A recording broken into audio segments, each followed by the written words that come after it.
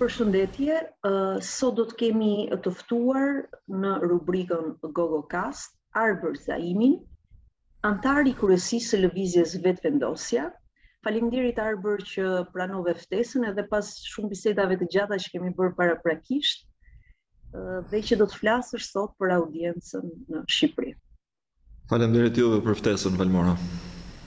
Natyrisht ne do ta nisim ëm dhe për të treguar pak lokalist, jo me shumë të drejtë, por do ta nisim me zgjedhjet e 25 prillit, Cili është komenti juaj i përgjithshëm duke qenë që keni ndjekur dhe nga afër fushatën, zhvillimet politike, cili është komenti juaj i përgjithshëm mbi zgjedhjet e përgjithshme të 25 prillit në Shqipëri? Po, zgjedhjet e 25 prillit konfirmuan vazhdimësinë dhe kemi një mandat të tretë tashmë në Shqipëri, Por ndryshe nga mandatet paraprake, ky mandat i tretë karakterizohet nga një dobësim i sfidës opozitare. Pra është një qeveri e cila ka, le të themi, së paku në aspektin parlamentar e në aspektin institucional, ka tashmë një kontroll të madh pakrahasueshëm me qeveritë e mëparshme gjatë tranzicionit edhe periudhës pluralizmit në Shqipëri. Ky nuk është format i ri, në rajon ne e kemi parë këtë të ndodhë për shembull në Serbi, ku partia në qeverisje kontrollon në masë të madhe institucionet e vendit dhe opozita gjendet në një farë mënyre e rrethuar apo e dekapacituar, si me thënë, e përjashtuar deri diku nga institucionet. Sigurisht, Si u mbërrit deri këtu janë shumë faktorë, nuk mund të lihet pa faj edhe opozita, por mbi të gjitha kjo vjen edhe si pasojë e një procesi ekonomik në të cilin ka kaluar dhe është duke kaluar Shqipëria.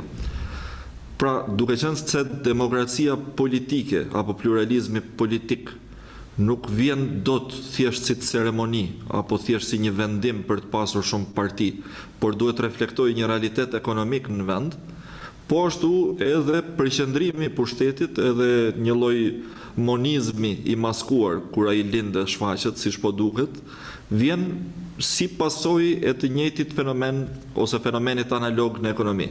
Në momentin që në ekonomi kemi përqendrimin e pushtetit në pak duar, kemi gjithmonë e më shumë projektet që kalojnë në disa kompani, tenderat që kalojnë në disa kompani, konkurset e kështu me radhë dhe kemi monopolizimin e sektorëve të ndryshëm të ekonomisë apo kartelet që kontrollojnë sektorë të tjerë, atëherë kjo reflektohet në politikë me fuqizimin e një partie apo e një klani personash.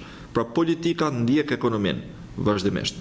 Në momentin kur do të kishim një ekonomi më të gjallë dhe pluraliste, ku do të kishim konkurrencë në sektorët kyç të ekonomisë, ku do të kishim një veprim të shtetit paralel me ligjet antitrust në Shtetet e Bashkuara të Amerikës, për shembull, apo veprim antikartel në Shqipëri, atëherë do të kishim rrethanat edhe për pluralizëm politik. Pse e them këtë?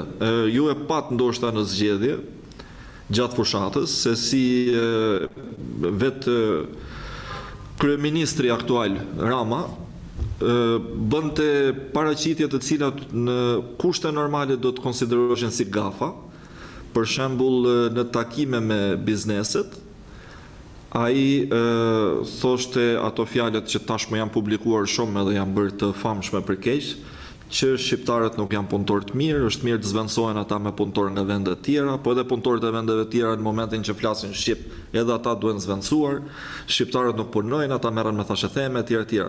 Në fushatë, logjikisht, nga parimet e komunikimit politik apo komunikimit strategjik apo komunikimit publik, kjo nuk thuhet. Domthon edhe nëse beson te kjo, që është gabim për mendimin tim, po dhe nëse beson kjo nuk thuhet, sepse ata janë votuesit. Ata që flasin shqip janë votuesit, shqiptarët janë votuesit. Pse e thoshte Rama këtë me aq siguri dhe pa u mërzitur shumë? Sepse ai ishte i sigurt që zgjedhjet do t'ia fitonin pikërisht këta operatorë ekonomikë. Përqendrimi i pushtetit ekonomik në duar të fare pak bizneseve, Paralelen e ka te përqendrimi i pushtetit politik në duar të fare pak politikanëve dhe të një partie politike. E njëjta gjë ndodhi dhe me rastin e skandalit të të dhënave private të shqiptarëve dhe sensitive, rasti i patronazhistëve që u njoh, të cilin në vend se të përpiqeshin ta fshihnin apo ta mbulonin, socialistët e propaganduan me krenari të madhe Pse? Sepse ishin të sigurt që nuk do të funksiononte ndonjë lëvizje demokratike sociale, por pikërisht këta patronazhistë do ta siguronin fitoren ashtu siç ishte llogaritur. Nuk kishte arsye për shqetësim. Por, tani e shohim se si vendet europiane që ngrenë shqetësime, Për zgjerimin e Bashkimit Europian në Ballkanin Perëndimor, Holanda për shembull, një nga çështjet që ka ngritur është pikërisht edhe skandali i të dhënave sensitive dhe përdorimit të tyre politik në Shqipëri. Dashur pa dashur, ne kaluam tek elementë të fushatës dhe në fakt ju mbështetët tre kandidatë gjatë fushatës për zgjedhjet e përgjithshme. Çfarë elemente të fushatës, dhe këtu e kam fjalën, jo në rolin siç mund ta kemi ne që jemi gazetarë, jemi të distancuar dhe shikojmë nga jashtë, por po flas edhe për mënyrën se si funksionoi së brendshmi, duke qenë që ju e ndoqët e ndoqët nga afër.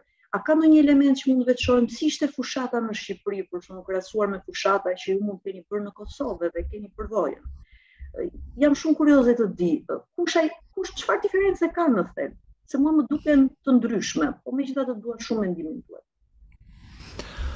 Ë uh, Së pari për fushatën që ne bëmë në Shqipëri, ajo është një fushatë tejet specifike sepse është fushatë për tre kandidatë të pavarur në një vend ku rrethanat e ndryshme, qofshin ligjore apo shoqërore, po dhe ekonomike, politike, nuk e favorizojnë kandidimin e kandidatëve të pavarur. Pra kodi elektoral është kundër e i gjithë settingu politik është le të themi i pafavorshëm për ta. Mhm. Dhe në kushtet e mungesës të një organizate pas. Kjo nuk është ajo çfarë ne bëjmë në Kosovë, domethënë ku prej 2010-s që kemi hyrë në zgjedhje, ne jemi karakterizuar nga dimensioni i fortë organizativ.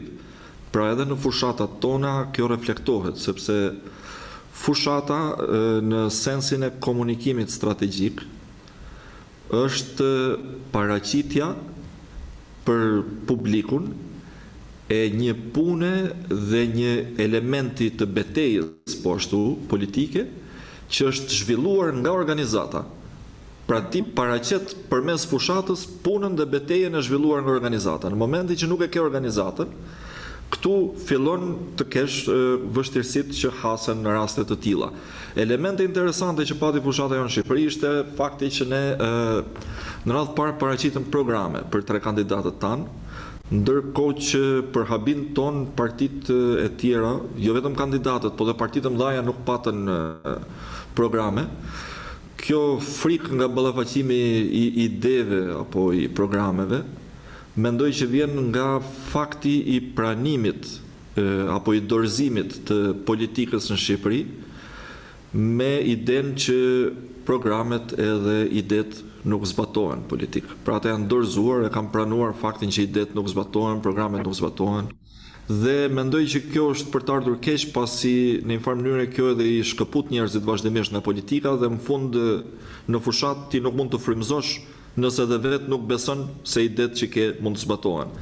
Neve megjithatë paraqitëm programe, një element tjetër pozitiv për mendimin tim i fushatës tonë ishte fakti që në Gjirokastër, në Lezhë dhe në Tiranë u angazhuan njerëz nga troje të ndryshme shqiptare, pra nga Kosova, nga Republika e Maqedonisë së Veriut edhe sigurisht nga qytete të ndryshme të Shqipërisë, duke prodhuar një momentum të njohjes me njëri-tjetrin në rrethana pune, pra jo të njohjes turistike, po të një njohje si pjesëmarrje në projekt të përbashkët. Këto janë themele, mendoj, për një organizim të mëtejshëm të lëvizjes në Shqipëri. e cila është në hapat e para, po sigurisht që do të ecë dhe mendoj që qysh prej, le të themi vera nuk është momenti më i mirë për organizimin politik, sepse njerëzit janë të përqendruar tjetërkah, po prej vjeshtës mendoj që do të ketë një hap interesant drejt strukturimit dhe organizimit në Shqipëri. Sa i përket fushatave, Tani po flas pa marrë parasysh fushatën tonë me tre kandidatë, po fushatat përgjithësisht në Kosovë dhe në Shqipëri.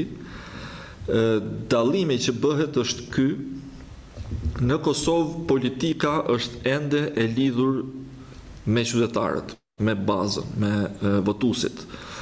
Pra edhe partitë e tjera, po sidomos Lëvizja Vetëvendosje, Mbajnë lidhje strukturore me votuesit edhe në një farë mënyre ka një dialektikë ku votuesit e ndikojnë partinë dhe partia i ndikon votuesit e nuk janë tërësisht të shkëputura siç shoh që po ndodh në Shqipëri. Kjo shkëputje që po ndodh në Shqipëri prodhon elemente që mendoj janë tipike të autokracive, po jo të demokracive, Kemi një arrogancë në Shqipëri të madhe të politikanëve ndaj qytetarëve që nuk është aq e madhe në Kosovë, por kemi edhe një pafytyrësi më të madhe në Shqipëri. Domethënë në Shqipëri pranohet më lehtë, domethënë nëse ti e kap tjetrin duke vjedhur apo duke ja ja tregon edhe dokumentat që shiko se ti ke vjedhur, ke pastruar para, nuk i bëhet vonë. Domethënë është një pafytyrësi më e madhe, më e pranuar kjo publikisht. Sa i përket elementeve të fushatës, lidhet kjo me arrogancën, Një terren aq arrogant dhe aq jodemokratik, shoh që ka luksin t'i lejojë vetes fushata jo joprofesionale. Pra unë mendoj që sektorët e komunikimit politik dhe strategjik në forcat politike në Shqipëri janë gati rudimentare dhe të pazhvilluara. Marketingu që bëjnë partitë e Shqipërisë Është marketing i kompanive tregtare. Nuk është komunikim apo strategji e komunikimit publik që bëjnë forcat politike të mirëorganizuara apo që e specializojnë në këtë drejtim.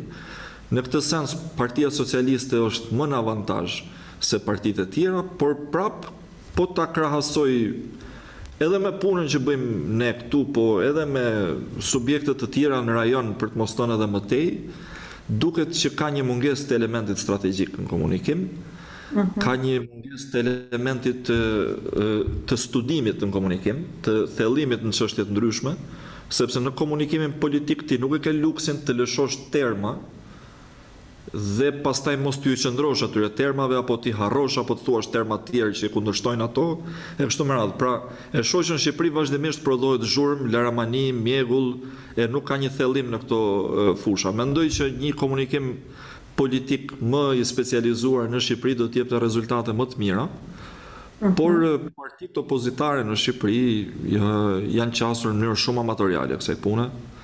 kryesisht duke blerë shërbimin e këshillimit për komunikimin në kompani të huaja të cilat jo se nuk kanë aftësinë profesionale por ka dy elemente që i pengojnë për të dhënë produkt mirë, elementi i parë është që nuk e njohin kontekstin historiko, social dhe psikologjik të shqiptarëve, se këto janë të lidhura me komunikimin shumë. Dhe e dyta, klientët e tyre shqiptarë janë klientë të vegjël për ta, pra ata nuk mund t'ju kushtojnë rëndësi aq të madhe, duke qenë kompani, le të themi, globale apo kontinentale, le të themi. Puna e tyre në Shqipëri është një një ndër punët e vogla që marrin edhe nuk u kushtojnë atë rëndësinë e madhe për të pasur një produkt Shumë të mirë.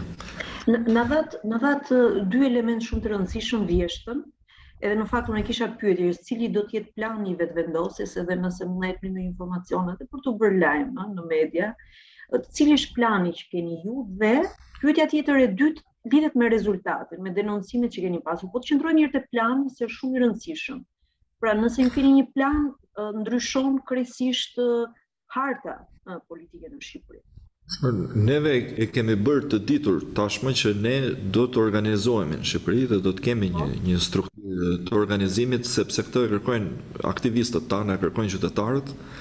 Por sa i përket hapave, këto janë çështje të dhe të strukturimit, janë çështje që diskutohen me të gjithë dhe nuk i takojnë një personi për të marrë vendime ende sepse Fillimisht, në hapat e parë gjithmonë strukturimi është i tillë, është më horizontal.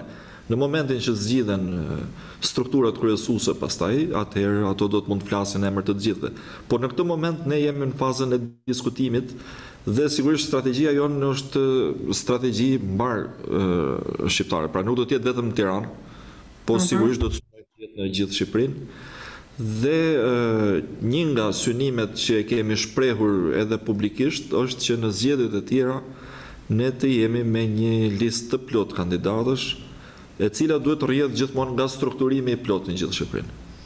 E marrim në situatë hipotetike sikur Gjykata Kushtetuese do të vendosë që në Shqipëri të ketë zgjedhje të reja vendore, A do të marrë pjesë vetëvendosja në to? Kjo mbetet për t'u diskutuar, nuk është përgjigje që më takon mua ta jap, është një përgjigje kolektive, një vendim kolektiv që duhet ta marrim. Por duhet thënë që është gjithmonë është për një subjekt si vetëvendosja, është më e lehtë të fillohet nga zgjedhjet kombëtare. Për shkak se edhe temat që ne e, trajtojmë edhe sfidat me të cilat mendojmë që përballen shqiptarët në këtë moment janë të tilla, por duhet patur parasysh dhe diçka tjetër. Në Shqipëri, pushteti lokal gjithnjë e më shumë, po sidomos në 4-5 vitet e fundit, është shndërruar pak a shumë në firmosës të urdhrave që vijnë nga tjetërkah. Pra vijnë urdhrat për të bërë një projekt apo për të dhënë një tender apo për të dhënë një konkurs dhe kryetari i bashkisë thjesht i nënshkruan ato urdhra. Me përjashtim të dy tre bashkive të mëdhaja, Tiranës edhe naj bashkie tjetër, bashkitë e tjera kanë një gërryerje të pushtetit të tyre dhe një marrje përsipër të atij pushteti nga qeverisja qendrore.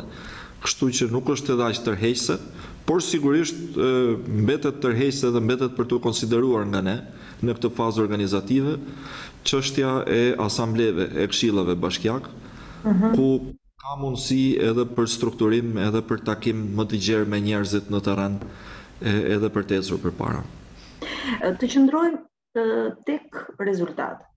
Ju në fakt i keni kontestuar, kundërshtuar rezultatet, keni bërë deklarata për to, keni folur për vjedhje, manipulim, mungesë transparence e të tjerë, po a mund ta shtjellosh më mirë, ndoshta edhe për një publik që nuk i ka ndjekur në mënyrë specifike zhvillimin, çfarë ndodhi?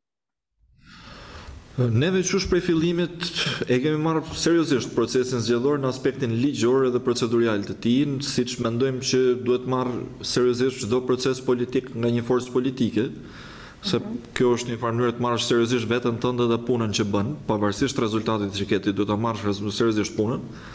Dhe çfarë pamë është që subjektet le të themi jashtë atyre që kishin komisionerë, pra subjektet e papërfaqësuara në komisionet zgjedhore, subjektet që merrnin pjesë për herë të parë apo subjektet jo parlamentare, kandidatët e pavarur e kështu me radhë, masivisht janë dënuar nga deformimi i votës dhe ne këto i kemi dëshmuar me video të komisionerëve që shkruajnë nëpër fletët e votimit janë video që ne i kemi marrë përmes vëzhguesve tanë po janë edhe video që ne i kemi marrë duke monitoruar me qindra orë të kamerave të tavolinave të numërimit, punë që ka dashur angazhimin e shumë aktivistëve të cilët i falënderoj për këtë gjë, mirëpo që nuk e kanë bërë partitë e tjera dhe nuk e kanë bërë partitë e mëdha e as partitë opozitare, gjë që në një farë mënyre mua më shqetëson sepse shoh që dhe opozita,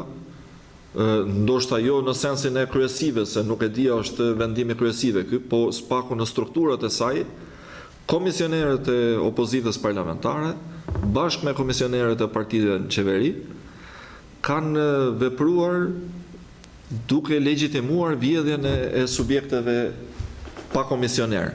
Kjo ka qenë shumë shqetësuese.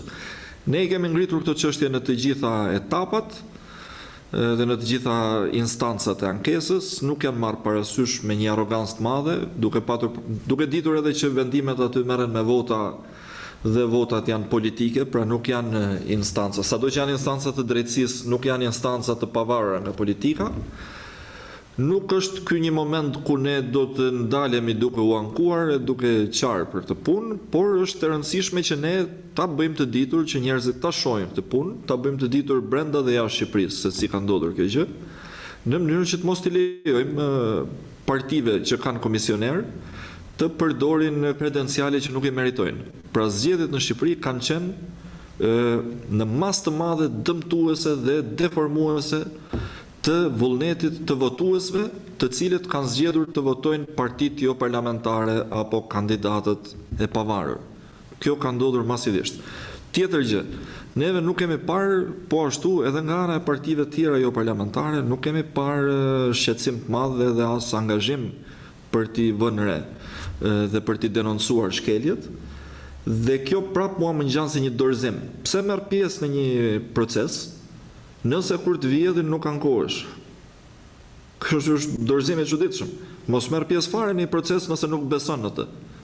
Pra nëse ti merr pjesë në një proces, ti paraprakisht tregon që beson në proces dhe nëse të zhgënjen procesi, duhet ta denoncosh dhe ta shpjegosh pse të zhgënjen. Pra një kulturë në Shqipëri e pranimit të shkeljeve, e pranimit të vjedhjeve, e mosdenoncimit, është një kulturë që unë e shoh të dëmshme edhe antropologjikisht. Domethënë, jo jo vetëm në sensin e zgjedhjeve, por dhe përgjithësisht. Pra, abuzimi, i cili mund të marrë shumë forma, kalon me atë idenë e më mirë hajt se çfarë çfarë do t'i bësh, s'ke çfarë t'i bësh. Nëse ecet me këtë logjikë, atëherë neve vazhdimisht konfirmojmë dhe riprodhojmë abuzimin. Mhm. Kuptoj. Ë të kthehemi te Kosova. Në fakt është vënë re që gjithmonë e më shumë zoti Kurti nuk po e e deklaron më publikisht atë kundërshtimin që kishte ndaj shkëmbimit të territoreve. Pra duket një lloj ulje e tempit të kundërshtimit, nga ana tjetër kemi një takim të fundit me me zotin Vuçiç. Si qëndron pse pse ka ndodhur që më përpara kundërshtohej më me forcë shkëmbimi i territoreve si para se para se të të, të ishte në rolin e kryeministrit ndërsa tani natyrisht situata duket pak e ndryshme mbase mund të jetë perceptimi jonë si gazetar unë si gazetar nuk e di po pyes Ish komenti juaj. Dy projekte të cilat ne i kemi kundërshtuar me forcë ka qenë edhe ky që u quajt shkëmbimi i territoreve apo coptimi i Kosovës, por edhe Asociacioni i komunave me shumicë serbe apo zajednica që kemi quajt neve. Dhe i kemi kundërshtuar me protesta, të dyja sot po kundërshtohen publikisht edhe hapur nga zoti Kurti, po sigurisht jo më me protesta, Sepse sot zoti Kurti është në pozitën kur mund të çojë përpara politikat për të cilat ai qëndron, nuk ka nevojë të protestojë për t'i çuar përpara ato. Sigurisht, protesta është zë më i fuqishëm që dëgjohet më shumë, bën më shumë zhurmë në hapësirën publike, por zoti Kurti... Jo, e kam fjalën, një një sqarim, e kam fjalën për komunikimin publik të tij, në deklaratë, nuk e shohim më. Zoti Kurti edhe në takimet e fundit që ka pasur, në shfaqjet e fundit publike, edhe me zotin Macron në Francë, edhe me zotin Di Maio në Kosovë kur erdhi për vizitë para disa ditësh, edhe në samitin e Vjenës, edhe në Tiranë kur ishte, zoti Kurti vazhdimisht e ka bërë të qartë që shkëmbimi i territoreve është projekt i cili ka vdekur, ndërsa Asociacioni i Komunave nuk do të mund të bëhet nëse është projekt njëetnik. Kjo është formula e zotit Kurti. Pra, kjo ndodhi edhe si përgjigje në Kosovë pas disa diplomatëve që thanë që duhet bërë, se s'bën. Zoti Kurti tha që nuk mund të bëhet si institucion njëetnik, për shkak se Kosova të gjitha institucionet nuk i ka të paragjykuara në mënyrë etnike, E nuk ka arsye pse të bëhet një institucion i ri, njëetnik. Kështu që nuk ka këtu ndryshim të qëndrimit, por sigurisht ka ndryshim të tonit, sepse zoti Kurti nuk ka pse të bërtasë më për këto gjëra. Është kryeministri i Kosovës, i cili çon përpara politikat e Kosovës në mënyrë diplomatike, edhe kur ai thotë që këto nuk do të bëhen, sigurisht që e ka fjalën Me aq instrumenta paqësorë demokratikë e ligjorë sa ka Kosova këto nuk mund të bëhen. Me me aq sa mund të na transmetoni ju çfarë toni ka përdorur zoti Kurti me zotin Vuçiç në diskutimet në takimin që patën në Bruksel. Po tani këto takimet janë përderisa nuk janë mediatike ka një arsye. Edhe unë prandaj ju pyeta me aq sa mund të na transmetoni. Po, ka një arsye, po do të them që zoti Kurti nga ana tjetër është i gatshëm për takim edhe mediatik me zotin Vuçiç. Mhm. Gjë që nuk e shoh që të jetë gatishmëria nga ana e zotit Vuçiç. Kjo është, po, analizë e imja, por në momentet kur duket se ka hapësirë për ballafaqim edhe mediatik, Zoti Vuçiç nuk po merr pjesë. Për shembull në Tiranë nuk mori pjesë, e dërgoi kryeministren. Kështu që e shoh që ai po heziton të ballafaqohet mediatikisht. Nga ana tjetër zoti Kurti nuk e ka këtë hezitim. Duhet thënë që synimi i zotit Kurti në këto takime dhe në përfaqësimin e Kosovës ndërkombëtarisht Nuk është poshtërimi i një figure të caktuar politike, i presidentit të Serbisë apo aq më shumë i një shteti e kështu me radhë, por është përfaqësimi me dinjitet i Kosovës, i interesave të Kosovës dhe i qëndrimeve të tij politike të cilat ai i ka paraqitur vazhdimisht publikisht. Pra nuk shkon aty për t'u krekosur, nuk është ideja e krekosjes dhe e marrjes krediteve politike, por ideja është me konstruktivitet plot të paraqes vazhdimisht ide dhe ne po shohim nga zoti Kurti ndryshe nga politikanët paraprakë që kanë shkuar në atë pozitë, që ai po shkon vazhdimisht me ide të reja, me propozime të reja. Pra nuk po thotë vetëm kjo nuk bëhet, kjo nuk bëhet, kjo nuk bëhet, por po shkon me propozime të reja. Pra me idenë si mund ta bëjmë. Zoti Kurti e ka bërë të qartë që nuk po diskutojmë me institucionet e Serbisë për statusin e Kosovës, se statusi i Kosovës është i vendosur, Kosova ka shpallur pavarësinë dhe e kanë njohur tashmë shumë vende, njëqind e shtatëmbëdhjetë vende. Kështu që çfarë po diskutojmë me Serbinë është statusi i marrëdhënieve tona Pra dialogu është mbi marrëdhëniet Kosovë-Serbi, jo mbi Kosovën. E kjo është, le të themi, premisa, fillimi, themeli i i pjesëmarrjes së zotit Kurti në këto takime. Nga ana tjetër, strategjia e zotit Kurti është që vazhdimisht të paraqitet me ide të cilat kërkojnë konstruktivitet dhe bashkëpunim. Do të thotë Është qasje kreative, e cila deri tani po pritet mirë nga partnerët e Kosovës. Por ende nuk e kemi patur mundësinë ta shohim se cila do të jetë strategjia e re e Serbisë, sepse siç duket zoti Vuçiç edhe të tjerët në Serbi nuk e kanë pritur këtë qasjen kreative dhe energjike të Kurtit. e janë ende në atë fazën ku duhet të mendojnë se si do të ballafaqohen në rrafshin ndërkombëtar. Faleminderit për këtë lloj konfirmimi se kishim nevojë të dëgjonim në fakt që nuk ka ndryshuar asgjë lidhur me idenë me kundërshtimin e shkëmbimit të territoreve dhe me idenë tjetër të asociacionit. Absolutisht. Absolutisht. Uh, Le të le të qëndrojmë pak a shumë ne zhvilluam këtë bisedë me pyetje shumë të rëndësishme, edhe kjo e fundit duket që mbase ka rëndësi edhe sa i përket aktualitetit dhe zhvillimeve të mëtejshme, po le të qëndrojmë pak tek ideja si pyetje e fundit, natyrisht nëse ti ke diçka tjetër për të shtuar mund ta shtosh te ideja e bashkimit. Çfarë çfarë do thotë bashkim sipas këndit që ju keni, sidomos mes shtetesh që kufijtë i kanë specifikisht shumë të qartë dhe shumë të ndara. Edhe këtu le ta ngremë pak pyetjen edhe në nivelin e, e faktorit shqiptar të rajonit, që është shumë i rëndësishëm. Është i rëndësishëm për rajonin, është i rëndësishëm për shtete më të mëdha që janë në kontinente të tjera. Çfarë mund të themi lidhur me me këtë ide? Po, shikoni, bashkimi gjithmonë kurdo që ka ndodhur, ka ndodhur mes vendeve me kufi shumë të qartë. Për shembull, edhe bashkimi i Gjermanisë fjala vjen. Edhe ky bashkimi i fundit i Gjermanisë në vitet 90, por edhe bashkimi i Gjermanisë në shekullin 19, kur u bashkua Prusia me një mori shtetesh të vogla, Bashkimi i Bismarkut, pra edhe ai ka qenë bashkim midis vendeve me histori shumë të theksuar dhe të ndryshme dhe me kufi të qartë. Edhe bashkimi i Italisë, bashkimi i Macinit, i Kavurit, i Garibaldit, ka ndodhur mes vendeve që kanë pas kufi e histori shekullore të ndarë me njëra-tjetrën, pra mbi gati mijëvjeçare të ndarë.